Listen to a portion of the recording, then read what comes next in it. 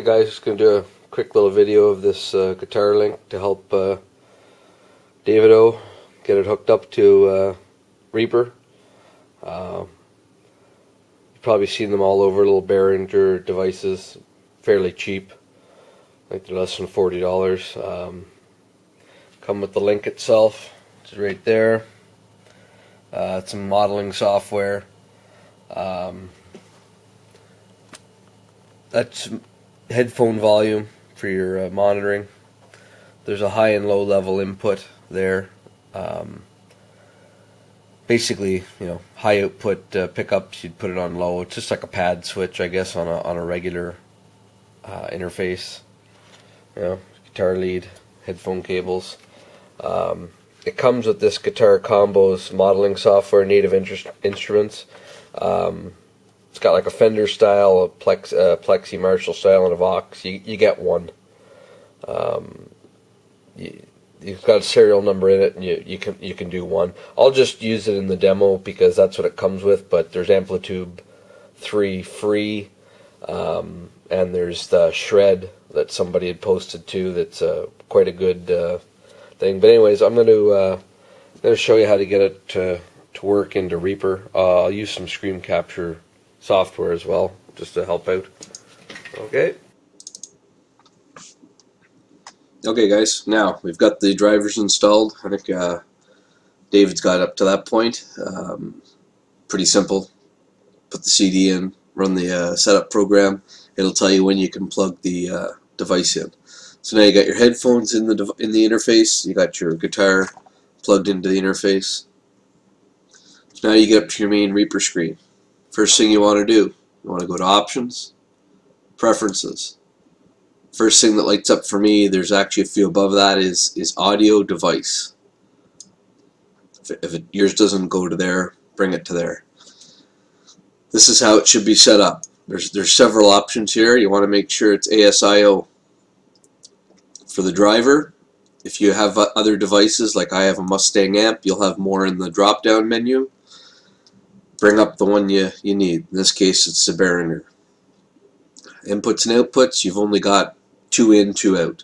Basically left and right for one channel, so there's no other way to, to uh, confuse that. Um, this sample rate 44100, it's always the same. 256 block size, always the same. Over here, same thing. Everything there is default. You don't have to change it. Only know what they should be case something changed, but you shouldn't have to do anything like that. Okay, so at this point we can close that. We know we're set up properly. So we'll add a new track here. Okay, so now you'll never hear anything until the, the track is armed. So we'll arm the track and you'll see you'll see I've got an input, but I don't hear anything yet. Um, by the way, there's there's an input box here, mono or stereo. Um, some Amplitube 3 will, will give me stereo tracks, where this one will only give me one, so it doesn't really matter where this one is. Um, so we'll just use that. So the next step you have to do to get sound so you can hear is turn the record monitoring on. Now what I'm hearing, I've got headphones on. Um, I'll try and record this later. I'm hearing exactly what I'm playing under the guitar. Dry, dry, dry. No, no effects. No, no amps. No nothing. Okay, so at this point, you want to add some modeling to this to get whatever tone for whatever song you're about to play. So you click on the effects button. This opens up what effects to do. You click on VST. Um, I've got Amplitube 3, Guitar Rig 5. Uh, Shred is a free one.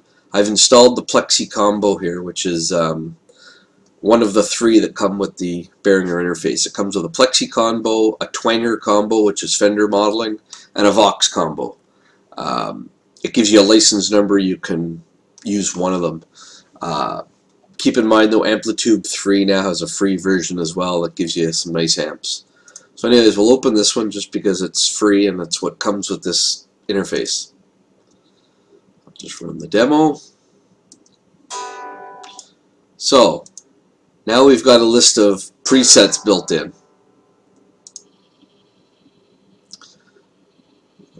Just find a good one here. Okay, this is a good one. There's going to be lots of noise on the uh, on the recording because I'm uh, it's a single coil and I'm sitting under a bunch of lights. So, okay, we can hide this. We can hide this. So now we're ready to go. Hit record.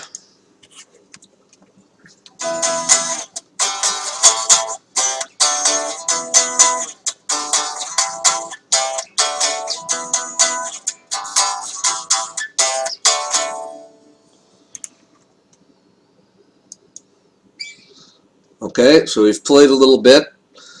Uh, just like everything else, if you want to save it or you know take one, take two, whatever you want to call it, you can rename it. It'll automatically give it the date the track number. So we'll just leave that as, as that is right now. Uh, save all. Okay, so this track now, if you were to send this track to somebody, it would be dry. It would um, it would it wouldn't have the effect on it. So what I normally do is if I had to send this to somebody to use in, in a thing, you basically down, render it, render it as a wave.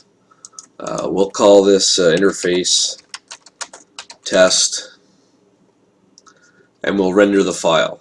I've already done that once, so overwrite. So basically, there there's your completed file.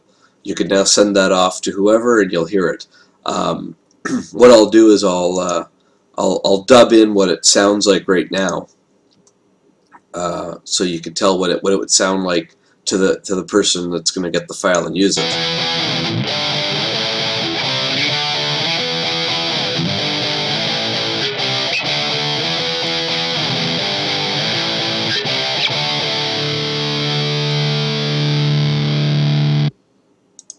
Anyways, hope that helps. I tried to do it right from step one.